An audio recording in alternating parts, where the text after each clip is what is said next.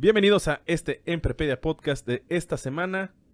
El día de hoy seguimos con temas muy curiosos, temas muy importantes eh, que ahora tiene que ver mucho con, con el impacto de la imagen corporativa, el impacto de la imagen comercial. Como tal, Rich, ¿cómo estás? Muy bien, muy bien, Paco, ¿qué tal? Pues tenemos, tenemos otro, in- otro gran De invitado. esta serie, de esta saga de invitados. esta saga de invitados que nos están subiendo el rating. Tú y yo no éramos suficientes para este podcast. Y, Este, este proyecto no era sustentable, nada más con nosotros no, dos. no era sustentable. Y el día de hoy se encuentra con nosotros eh, un muy buen amigo mío, Raúl Pazzi de la Llave. ¿Cómo estás, Raúl? ¿Qué onda? Muy bien, ustedes. Gracias por la invitación. Muy bien, muy bien. Bueno, pues un poquito del, del currículum de Raúl. Raúl de carrera es arquitecto, ¿no? De profesión. Pero le ha pegado poco a la arquitectura como tal, creo. Ya estoy retirado a mis, a mis 38 años. Así como buen millennial. Así No, a es. mis 33 ya, me ya colgué las botas y el casco, ¿eh? Ya, muy bien, muy bien. El respirador ya, ya sirve para otra cosa. Ya Sí, no- ya, ya. Ahí, ahí pones, este, ya, es mesa. sirve para colgar la ropa. Exactamente.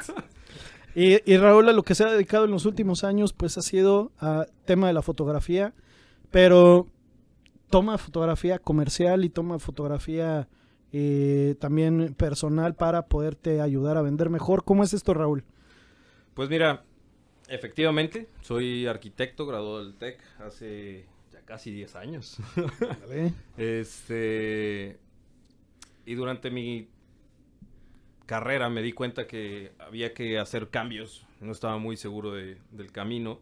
Y me, me topé a la, la fotografía como un hobby que me encantaba, me apasionaba. Literal, ese tipo de trabajo que puedes hacer hasta gratis.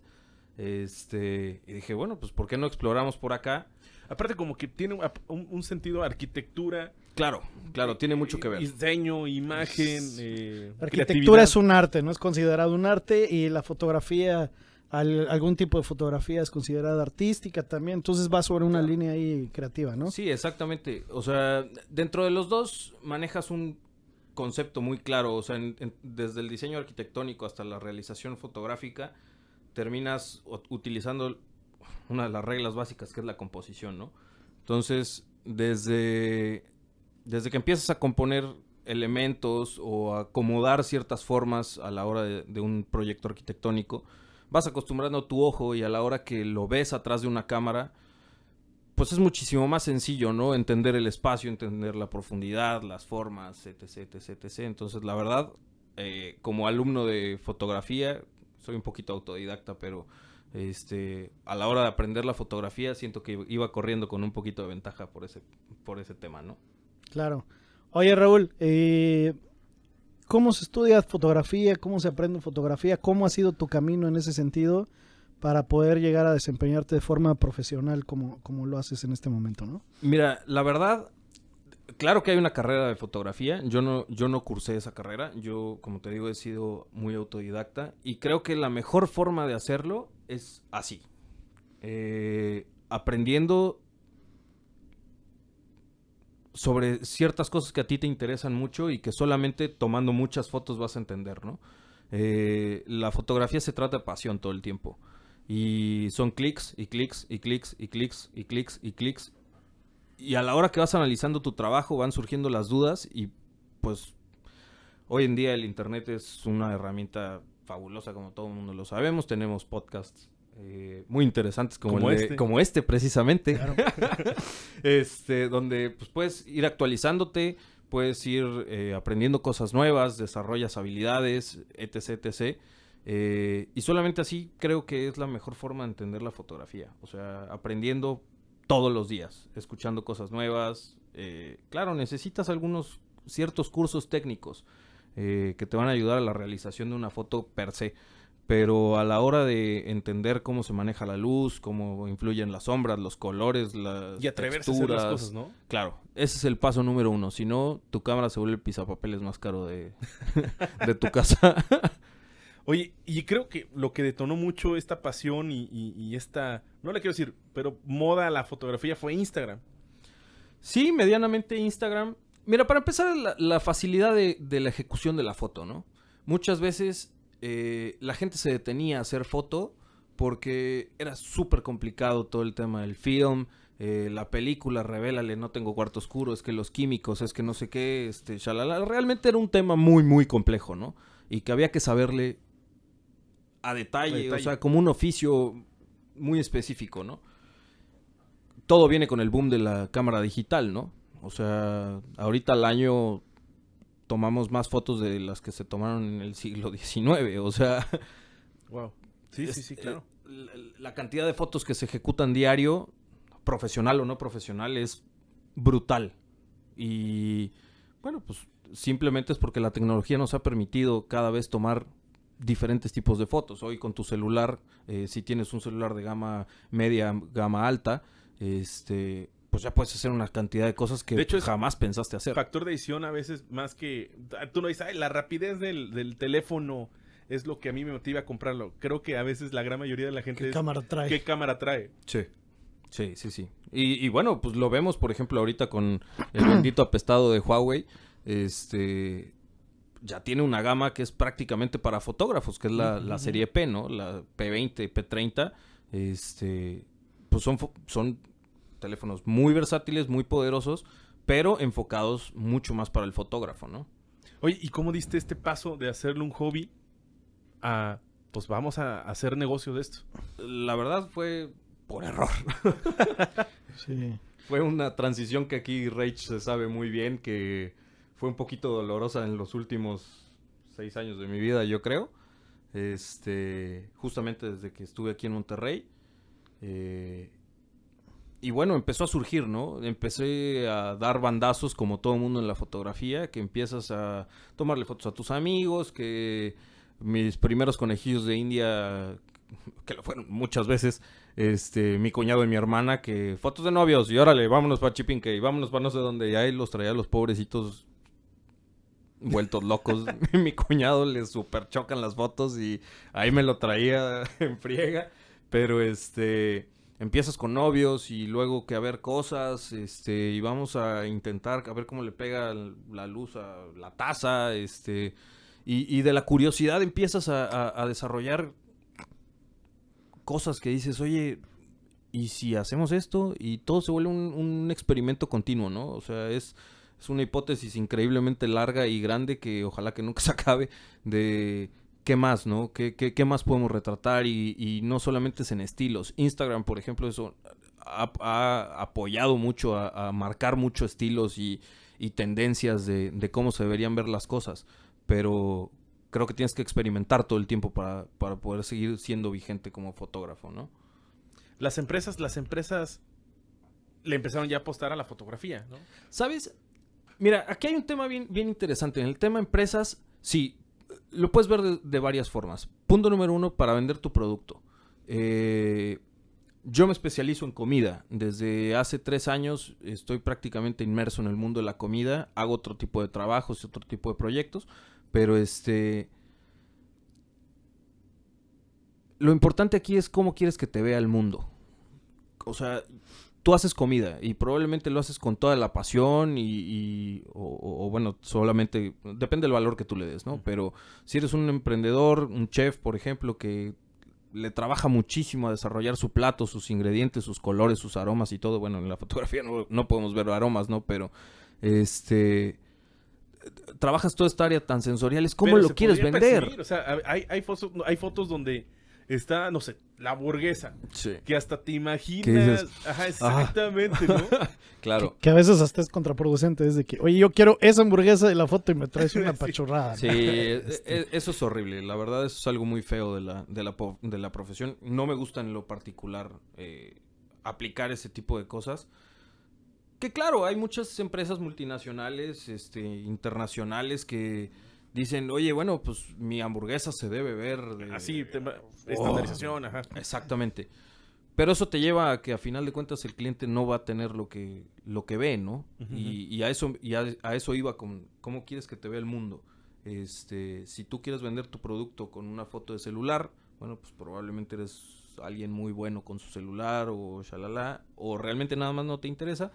Pero hay, generas un tipo de imagen y vas generando un- un- una marca digital este, a lo largo de todas tus redes sociales con una calidad relativamente pobre, entonces pues más o menos es lo que estás enseñando, ¿no? Invertirle a que mi negocio se vea bien, pues creo que es sumamente rentable. Eh, Oye, Raúl, yo, yo lo veo en el tema de marketing digital. Eh, como que hay gente, dueños de negocios, no todos, pero sí algunos, que como que dicen, ay, se me hace que por aquí va el rollo, pero no lo sé. Pero sé que mi sobrinito como que le pica a Facebook, entonces que él lleve las redes, ¿no? sí. Con cualquier cosa que eso significa. Y percibo también, y si estoy equivocado, también dame tu punto de vista, que en foto tiende a ser un poco así, ¿no? De que, ¿cuál es la barrera de entrada para ser fotógrafo? Pues comprarte una cámara más o menos buena, Ajá. piensas, ¿no? Y ya de ahí, ok, pues ya tengo mis cachivaches para poder ser fotógrafo y empiezas a tomar fotos. Y hay veces que los empresarios dicen, bueno, pues con, la- con lo que tengo toma fotos, ya sea con mi celular o con la cámara o yo mismo, que siento que es como el equivalente de, pues que mi sobrinito maneje las redes. La verdad es que no sé en foto, pero en marketing que alguien amateur, que alguien profesional maneje, haga estrategia, redes, etcétera, la diferencia de rentabilidad es abismal. ¿no? Así como Claro. abrir redes sociales por abrirlas, yo creo que también aplica con la foto de no nada más es tomar la foto por tomarla. Sí. Sí, exactamente. Eh, mira, desafortunadamente, por lo mismo, como hay muy pocas personas que realmente toman la carrera y, y que muchas, muchos potenciales clientes realmente te ven como un profesional, o sea, e- e- es muy reducido eso, ¿no? Este, eh, de alguna forma está un poquito prostituido la, la profesión. eh, porque efectivamente hay mucha gente con una camarita que le costó un poquito más de lo que consideran que es económico. Este, y dicen, oye, bueno, pues yo ya tengo un equipo aquí interesante, ¿no? Entonces debería este, poder sacar algo bueno. Cuando es. No es cierto. Es, O caro, sea- sea, es, es caro para las empresas. Es, eh, o, o cómo anda el mercado ahorita eh, evolucionando en cuanto a los costos. Mira, a como yo lo veo, es que tienes un segmento muy, muy, muy, muy, muy barato. eh, que son los chavos con la camarita. Digo, está muy bien porque es una forma de empezar, regalando a veces tu trabajo, este acostumbrándote a tomar y tomar y tomar y tomar y tomar y tomar fotos, los que, lo que te decía, de muchos clics, es- eso es lo que te va a, a ayudar a mejorar. Este, probablemente es gente que está en ese segmento, ¿no? Que están eh, aprendiendo, que están queriendo, traen muchas ganas y todo, pero cobran muy, muy barato. Este, y el gap intermedio a muy caro, es que defíneme que es muy caro, o sea, no sé, una producción, hay, hay gente, me he topado con restauranteros que me dicen, oye, bueno, pues ¿cuánto me cobras una sesión de fotos? Y ellos están esperando que les digas, bueno, 500 pesos por dos horas y son 10 platillos. Se sacan la cartera y te lo dan en ese preciso instante, ¿no? Pero ya si lo ves como un profesional, realmente tienes que pensar, pues, en tu tiempo, en el desgaste de tu equipo, en, las en la inversión que Porque has no realizado. tomar la foto ya. Claro, por supuesto que no es, no es tomar la foto, es entender qué estás haciendo. O sea, no es lo mismo tomarle una foto a una hamburguesa. A decir marca, ¿sí? Sí, sí, sí, claro, claro, claro, claro. Este, no es, no sé, eh, no es lo mismo tomarle una hamburguesa de McDonald's que una de Muncher House. O sea, el concepto del restaurante, la idea del, del restaurante es completamente El diferente. mercado es diferente. El mercado es diferente y El tú costo todo de la eso lo tienes. es el El costo costo de la hamburguesa. O sea, desde que tú llegas y te paras, ves lugares, o sea, sensorialmente estás hablando de cosas completamente diferentes, ¿no? O sea, tal vez uno es, este, mesas súper rústicas, acá onda un poquito más romanticón, con una hamburguesa hecha casi casi que a mano, este, de gourmet y todo el rollo, contra algo, una producción en masa que es muy, muy rica para que vayas con la familia, lo que sea. Pero todo eso lo tienes que proyectar en, en- en la foto, o sea, no es llego y tomo fotos a lo loco, nada más. Yo para poder vender una hamburguesa de cualquier, llámese el restaurante que sea, tengo que captar la esencia de ese restaurante y proyectarlo.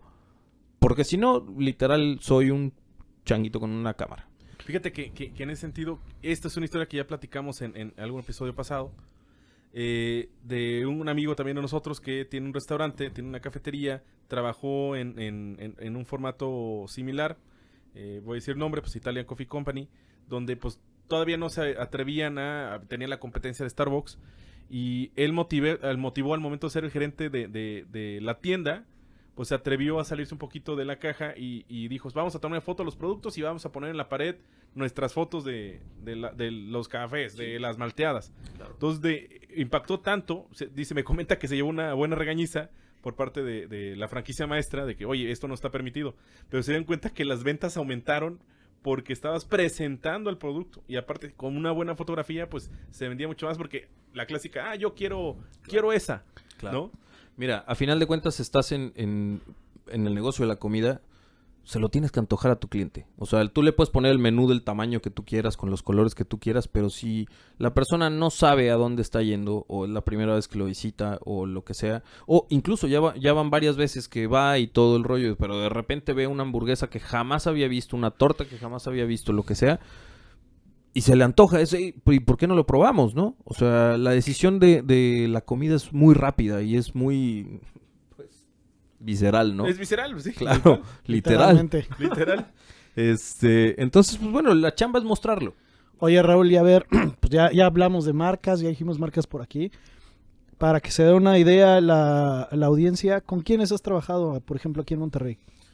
Ok, pues mira, Es una larga lista, ¿no?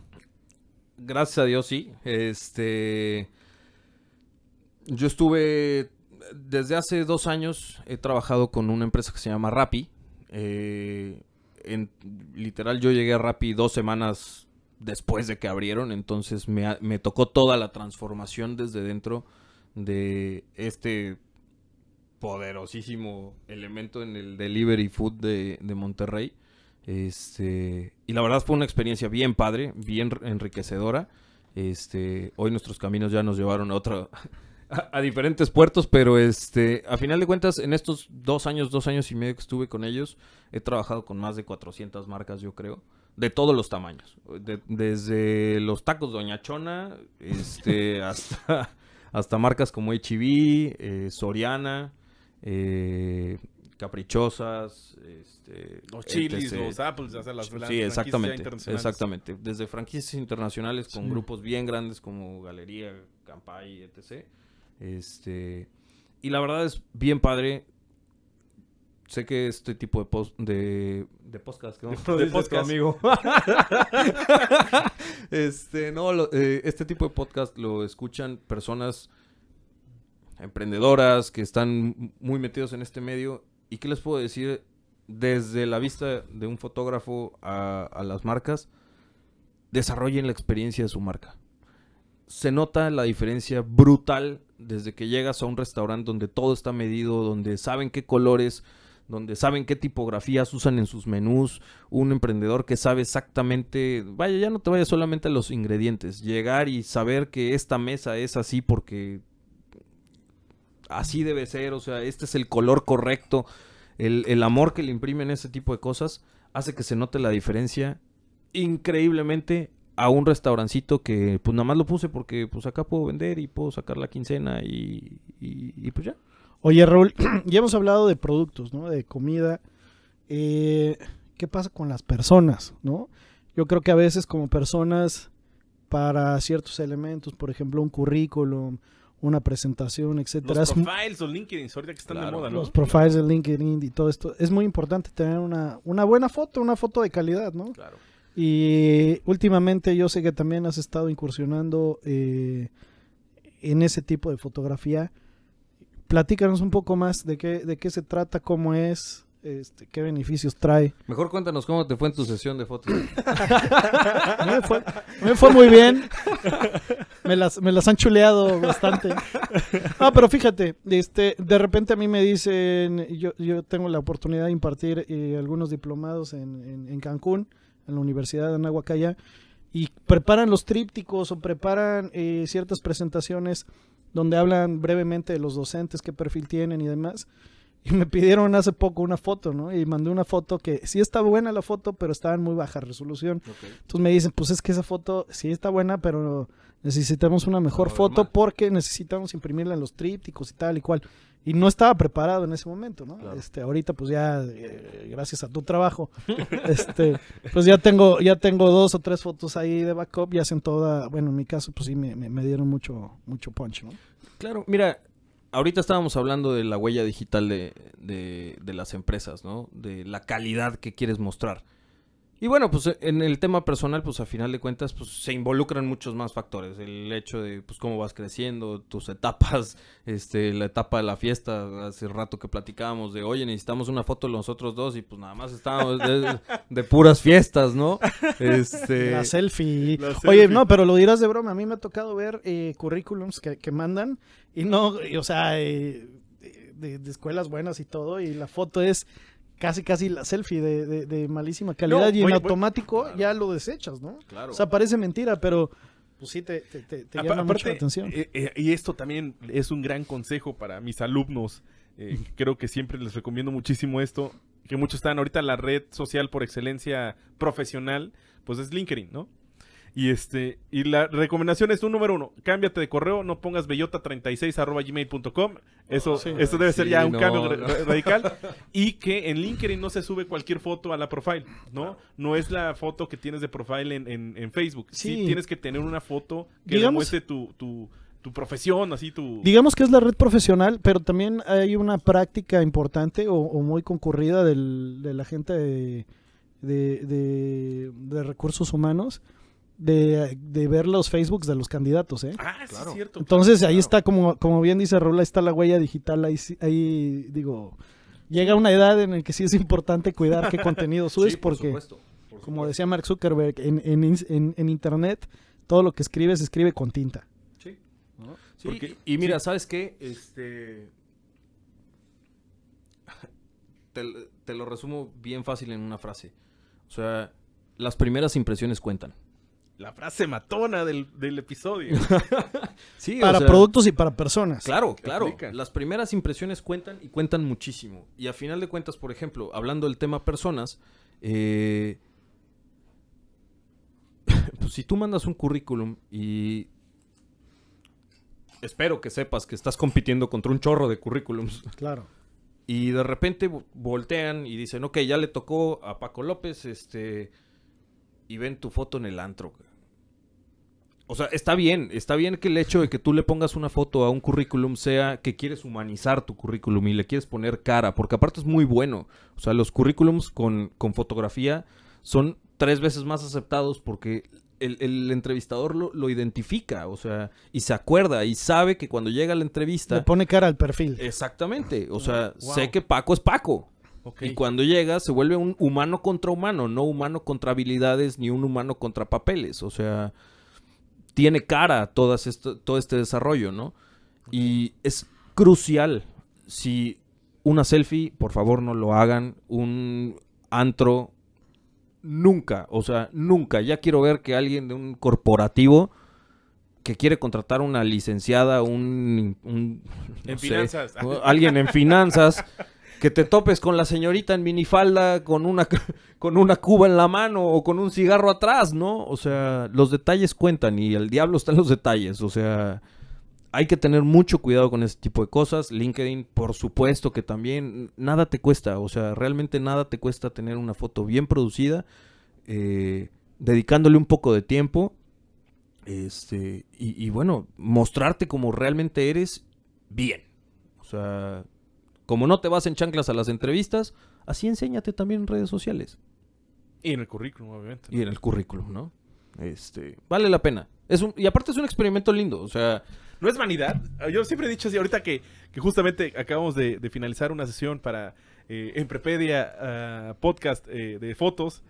La verdad es que yo nada más he hecho dos sesiones de fotos y justamente da coincidencia que ha sido con Raúl, pero de repente yo dentro de, de, de- de mi ser, yo digo, esto no es vanidad, hacer eh, eh, vale pena, o sea, si no, no queda en vanidad. claro que, claro que a todo mundo le da pena.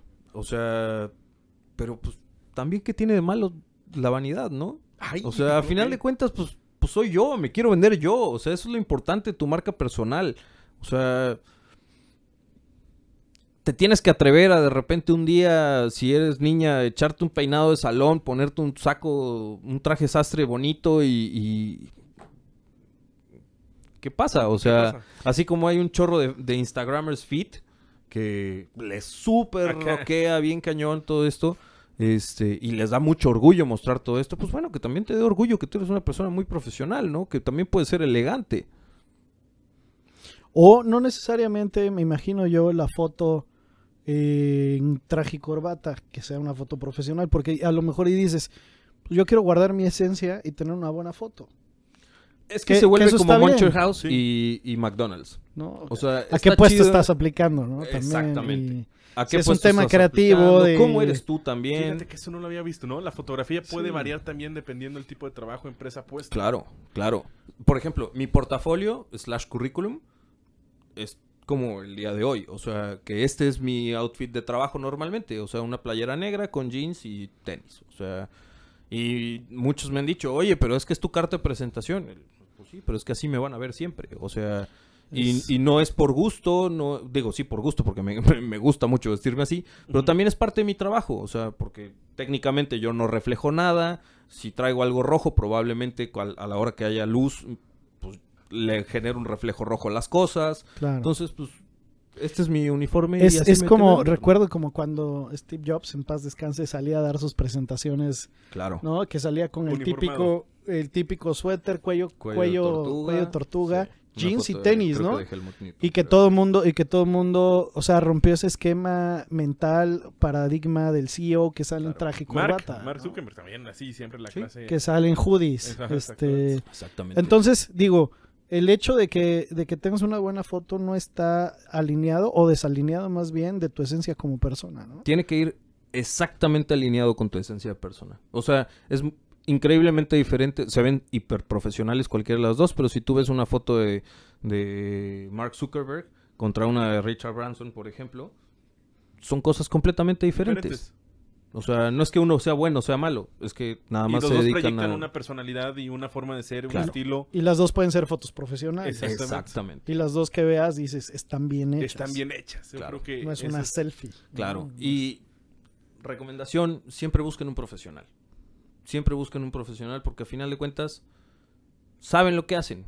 O sea, es como, no sé, como el, hace rato que platicábamos, de que le falta una autoparte a tu coche.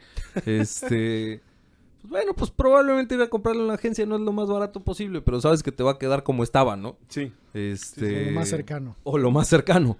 Y, y bueno, pues Vale la pena. Vale la pena, vale la pena muchísimo hacerte una sesión de fotos por lo menos en tu vida. Claro. Oye, Raúl, la gente que nos está escuchando y que le cayó el 20 y dice, sí, yo creo que necesito una foto profesional y que pudiera llegar a considerarla, tomarla contigo, ¿dónde te pueden encontrar? Eh, ¿En tus redes sociales o en tu correo? O, Ok.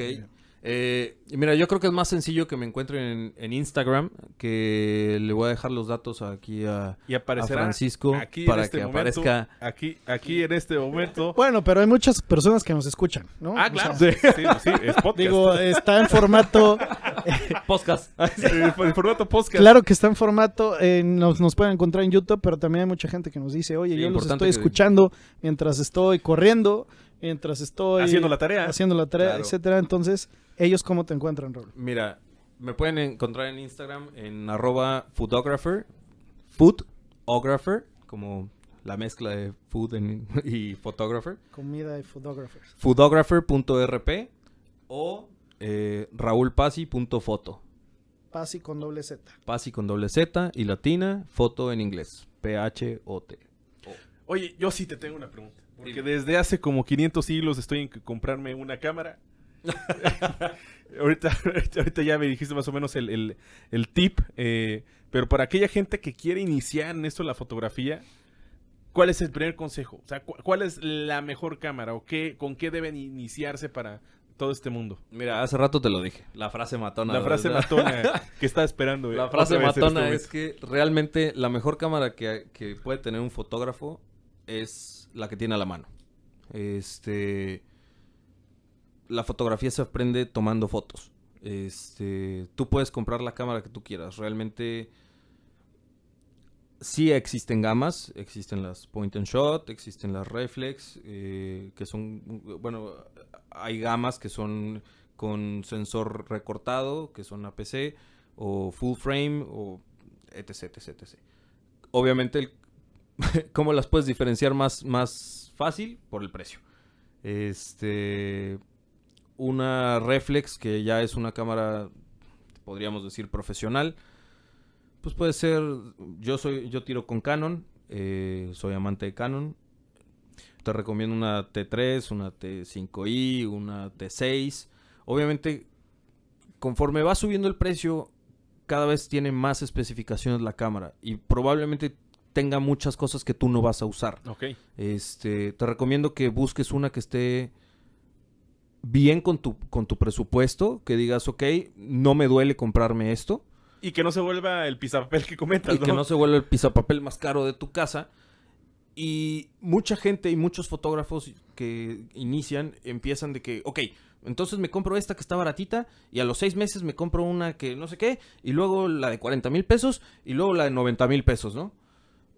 Eso es una tontería. Cómprate la baratita. Los sensores de las cámaras tienen una vida útil de 200 mil disparos. Si no llegas por lo menos a la mitad, no tienes por qué cambiar de cámara. O sea, acábatela. Acábatela y tira y tira y tira y tira y tira y tira y tira. Y cuando entiendas, ya me está quedando chica, ahora sí te toca el upgrade. Pero mi consejo para empezar es búscate, o sea, desígnate un presupuesto y con, con la que tú te sientas cómodo, muy probablemente hoy en día ya es una muy buena cámara para empezar. Perfecto. Oye, Raúl, pues ya pasaron casi 30 30 minutos. Exactamente. Casi 30 minutos eh, como agua entre los dedos. Este, ¿Tienes algún mensaje final? Mira, a mí me gustaría que, que- que dieras un mensaje no tanto técnico de foto o demás, sino, por ejemplo, tú que te atreviste a, a- a buscar vivir de lo que te gusta como hobby, eh, ¿qué mensaje le das a la gente que ahorita está media dudosa entre eh, estoy en un trabajo, pero lo odio, pero, pero me gusta hacer esto, pero no sé si soy tan bueno eh, como para vivir de tal cosa? Tú pasaste por ese, por ese conflicto, Conflicto. si le quieres llamar, es cierto, es un cierto conflicto ahí Sí, es un conflicto. mental, este Y económico también. Económico. Sí, ¿no? Porque te, está- te estás sacando de tu área de confort. Sí. ¿No? Sí. Entonces, ¿qué, qué consejo le das a la a los pot escuchas en ese sentido? Yo creo que el consejo debe ser. Van a ser dos. El primero es. Identifícalo. Y aviéntate. Este. Ese es el primero. Ya que tú sabes que quieres hacer algo. Y que lo quieres hacer en serio. Y que quieres vivir de eso. Y que sabes que hasta lo podrías hacer gratis. Pero te, te hace muy feliz. Que no sé, que haces lettering, que cantas, que haces videos, que quieres ser influencer, que lo que sea que está un poquito ahorita como off the limits del, de lo entre comillas profesional este o con una carrera profesional planéalo muy bien o sea sí aviéntate pero el siguiente consejo es planéalo muy bien. Tienes un trabajo probablemente tienes un trabajo que te choca probablemente o sea cuando estás en este punto no Eh, eh, probablemente no estás como en tu elemento este, incomodón lo que sea este, no te vayas como el Borras, porque yo me fui como el Borras y la neta es muy duro, muy muy duro, cuesta mucho, te llevas muchas muchos sinsabores y hay que pedalearle el triple. Entonces, planea muy bien tu salida, ahorra, este, ten un colchoncito y ponte una fecha.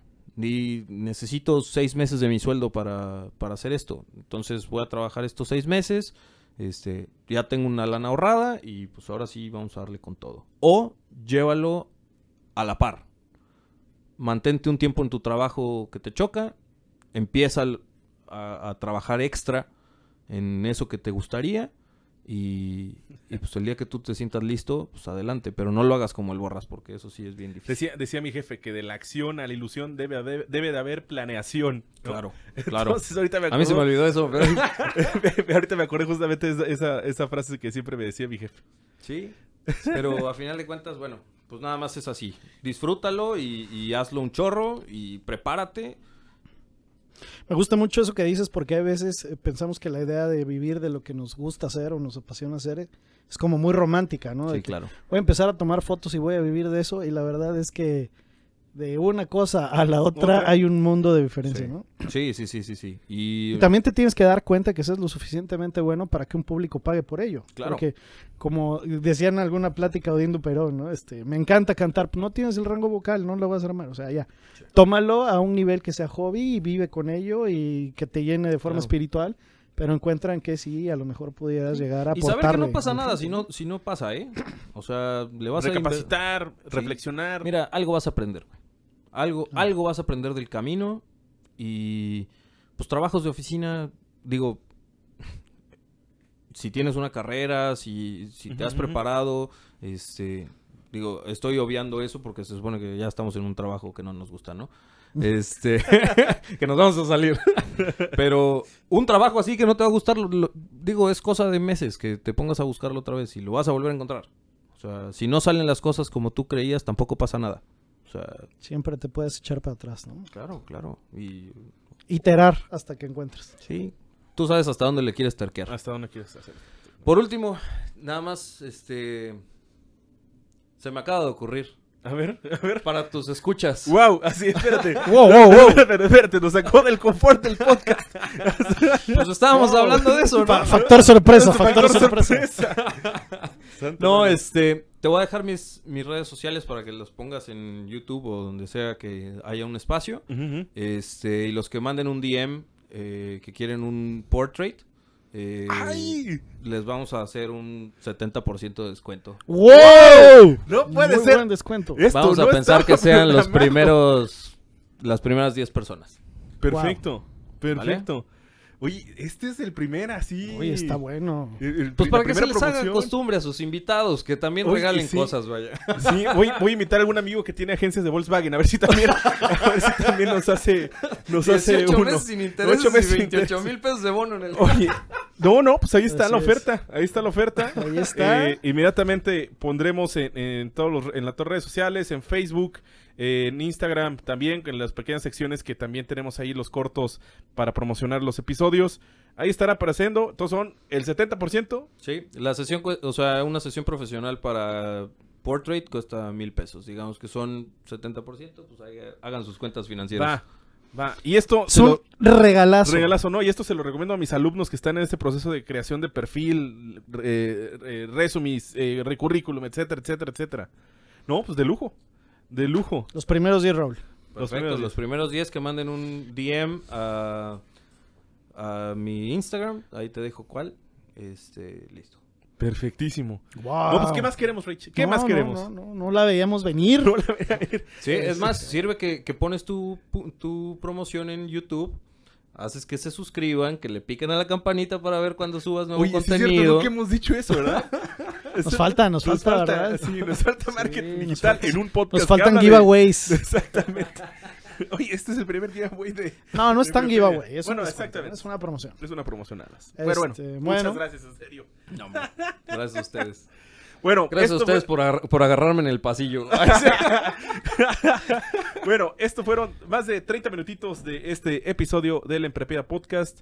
Eh, muchísimas gracias eh, por, esa promoción, por sintonizarnos, por escucharnos, ya saben, haciendo la tarea, manejando, haciendo ejercicio, en cualquier momento, pues estamos, somos multiplataformas, ¿qué más quieren? En todos momentos nos pueden estar escuchando. Pero sabes, lo más importan, importante, Rech, ¿sabes por qué nos deben escuchar? Porque aquí todo lo enseñamos con manzanitas. Nos vemos. Adiós. Bye.